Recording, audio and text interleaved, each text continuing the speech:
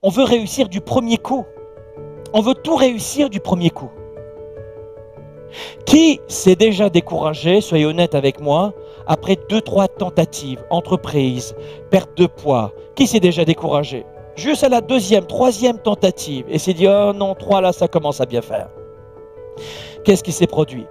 Eh bien, on vous a injecté dans la tête avec des livres à 2,50$, peut-être de motivation, j'en sais rien, qui font plus de dégâts que de bien.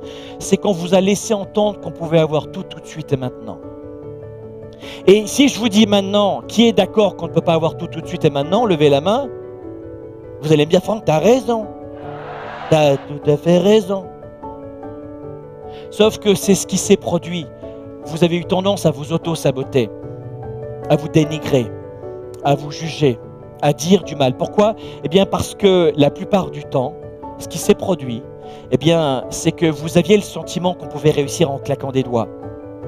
Michael Jordan faisait 1000 tirs par jour pour être resté, demeuré Michael Jordan.